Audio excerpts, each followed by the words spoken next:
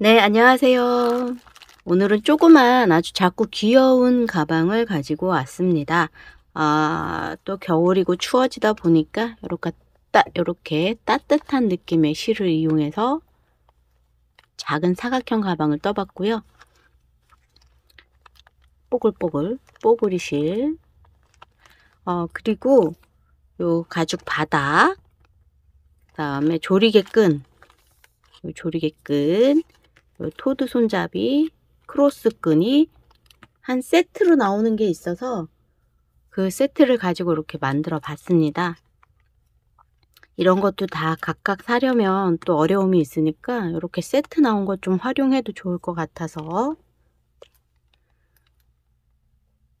예쁘죠? 뽀글뽀글 따뜻한 느낌도 들고 이렇게 들고 다니셔도 되고 크로스로 매셔도 되고 이렇게 조리게끔.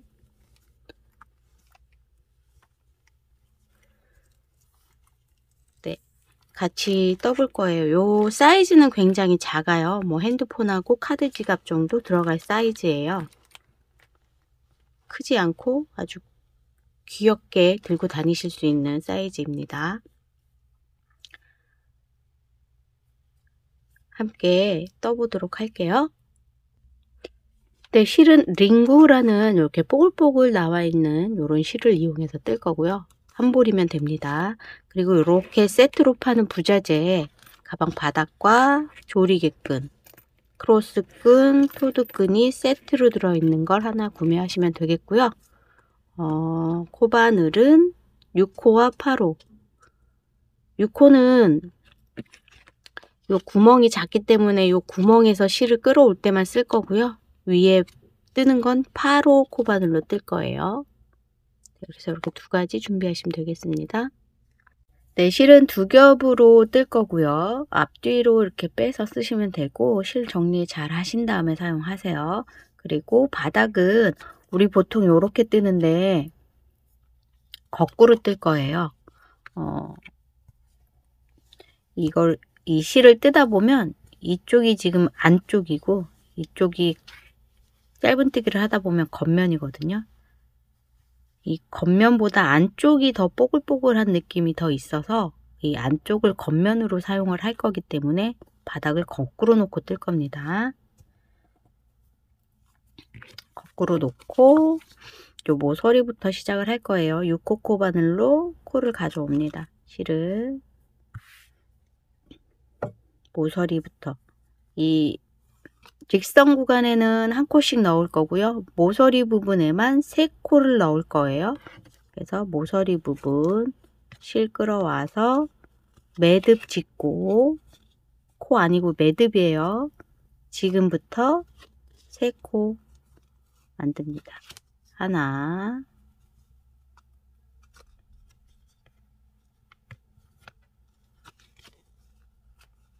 둘 두 개만 만들고 쭉 돌고 와서 마지막에 한 코 만들게요.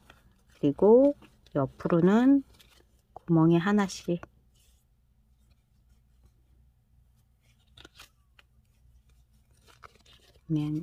구멍에 한 코씩 뜨면 되겠습니다.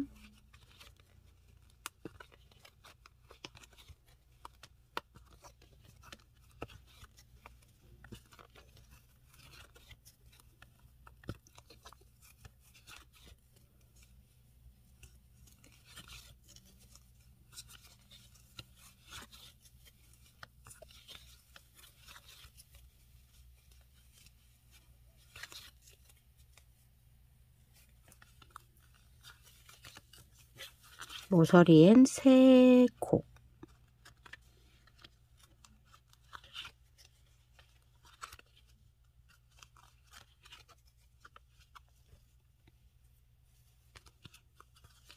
실을 가죽 끝까지 끌고 와서 빼주세요.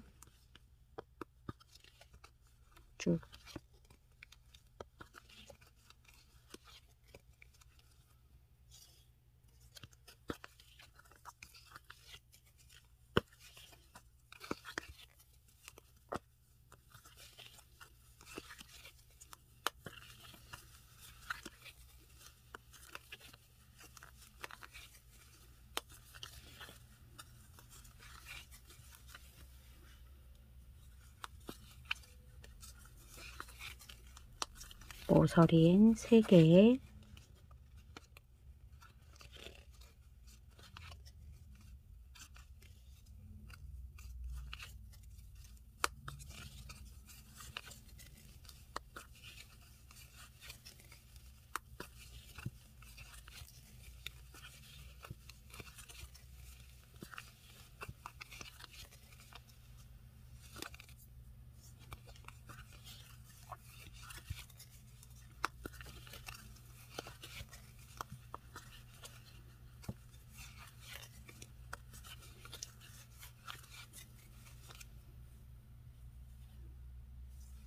모서리에 3코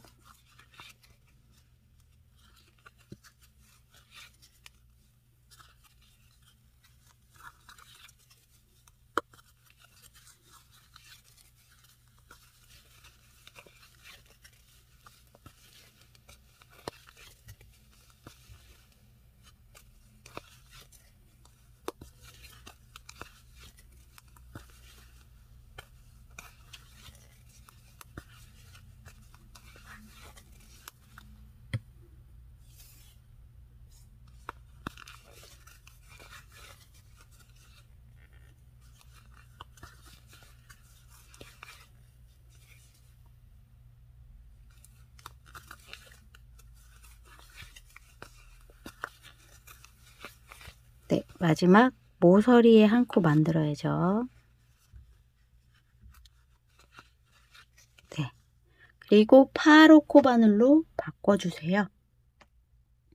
파로 코 바늘로 바꾸신 다음에 이제 뱅글뱅글 뜨시면 되세요. 짧은뜨기로 그냥 뜨시면 됩니다. 얘가 실이 뽀글뽀글해서 코가 잘 안 보이긴 해요. 하지만 뜨시다 보면 코가 눈에 들어오실 거예요.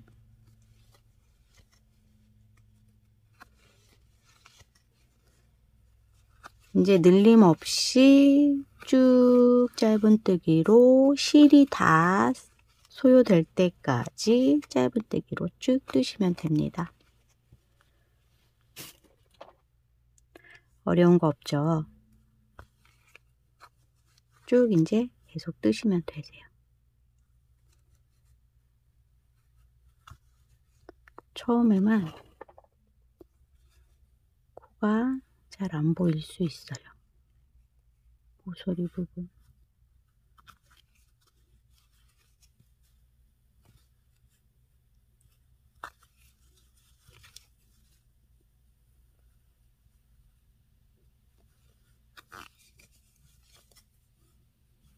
하시다 보면 눈에 익어서 코가 보일 거예요. 처음에는 감이 안 잡히는데 뜨다 보면 코가 보입니다.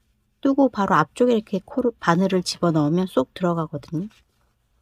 뜬 코 앞에 쏙, 쏙, 쏙. 네, 이렇게 해서 쭉 실이 다 될 때까지 끝까지 뜨시면 되세요. 네, 이렇게 쭉 뜨셨으면 이제 실이 다 됐잖아요. 될 수 있으면 모서리 부분에서 마무리를 해주시면 좋겠죠. 모서리 부분에서 빼뜨기로 한 두 코 정도 그리고 쑥 빼주세요. 이렇게 그 다음에 우리가 이제 바닥을 거꾸로 놓고 떴기 때문에 얘를 뒤집어 보겠습니다. 이렇게 뒤집어서 이제 이렇게 얘를 겉면으로 사용을 할 거예요. 네, 마무리는 돗바늘을 가지고 이제 마무리를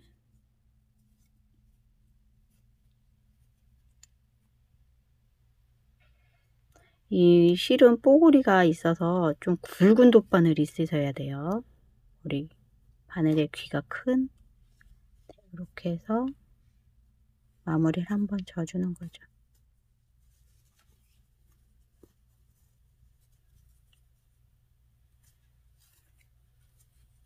실이 뽀글뽀글해서 또 잘 안 보이니까 그런 건 또 되게 굉장히 장점인 것 같아요.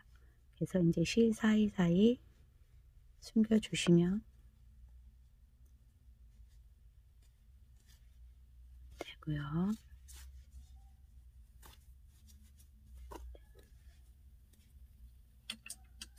그래서 이제 잘라서 마무리 해주시고 요 속에 처음에 시작할 때 꼬리실도 돗바늘에 끼워서 실 사이사이 숨겨주세요.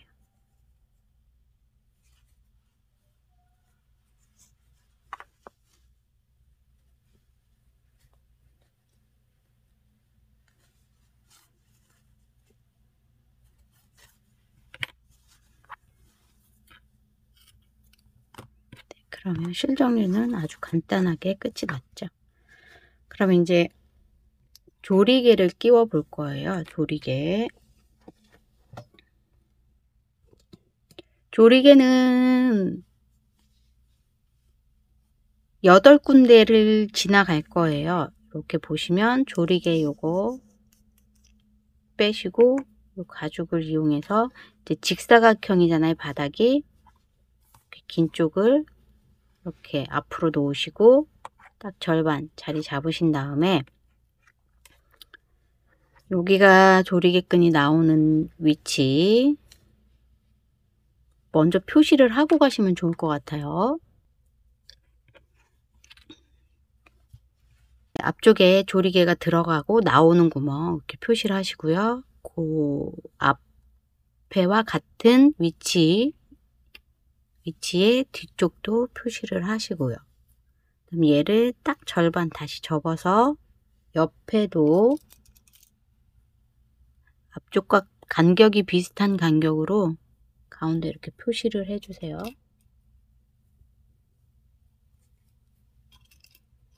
그리고 뒤쪽도 똑같은 위치에 표시를 합니다.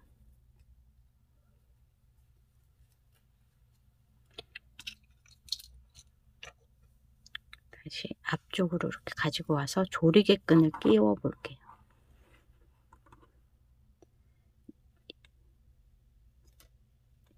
요 끝이 이렇게 네모났잖아요. 얘를 뾰족하게 잘라 주셔도 돼요. 이렇게 잘 들어가게 뾰족하게 잘라서 예, 이렇게 뾰족하게 잘랐습니다. 그래서 한 요 정도 일단 들어가고.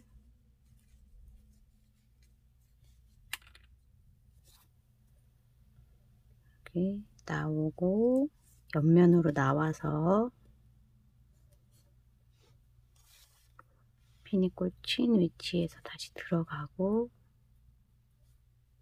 또 핀이 꽂힌 위치에서 나오고. 요 선도 유지가 돼야 되겠죠 그리고 꽂힌 데에서 들어가고.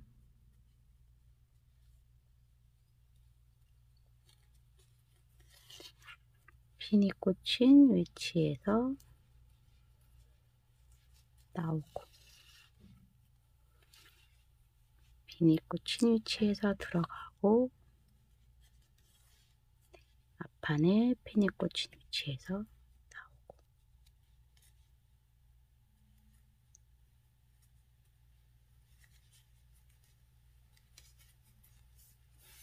네. 얘를 잡아당기면 이렇게 오므라지는 거죠. 핀을 빼볼게요.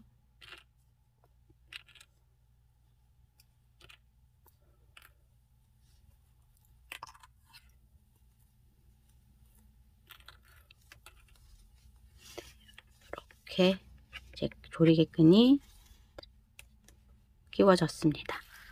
그리고 요거는 돼지코라고 불러요. 이게 돼지코처럼 생겼다고 해서. 그래서 이렇게 이음새 있는 부분이 앞쪽이에요. 이쪽이 뒤쪽이고. 그래서 끼우실 때 요렇게 끼우셔야 해요. 이렇게. 얘를 한쪽씩 이렇게 끼우세요.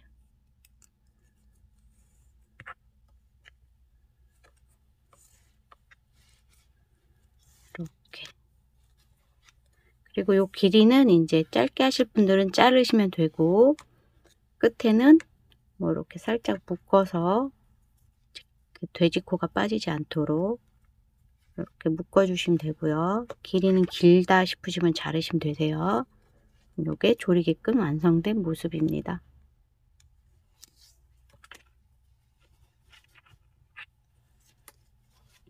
이렇게 그리고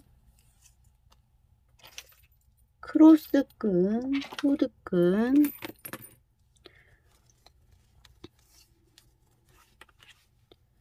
이렇게 크로스끈에 D링이 두 개가 달려 있어요. 이 D링을 뜨시면서 옆에 마지막에 이렇게 놓고 뜨셔도 돼요.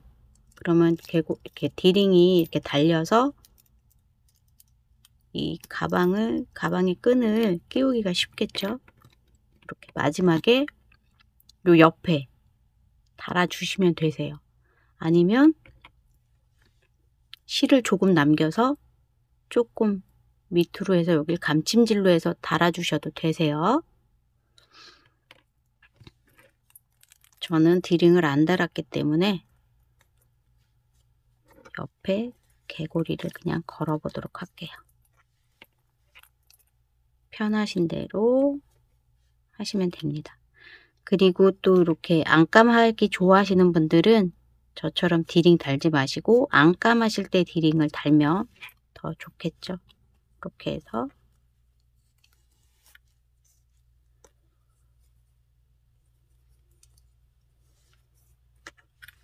이렇게 해서 토르끈도 달아봤습니다.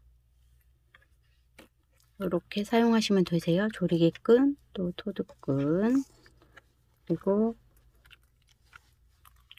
크로스끈은 이렇게 거셔도 되고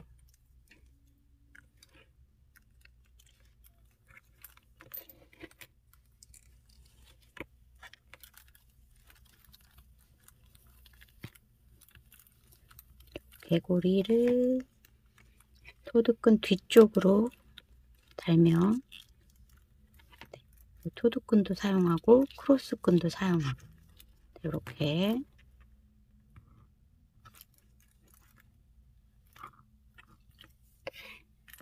그래서 이렇게 세트 이렇게 활용하는 거 보여드렸습니다. 네. 링구사를 이용해서 귀엽고 따스한 느낌의 뽀글이백 이렇게 활용하시면 될 것 같아요. 네, 예쁘게 떠서 또 귀엽게 들고 다니시면 되겠습니다. 감사합니다.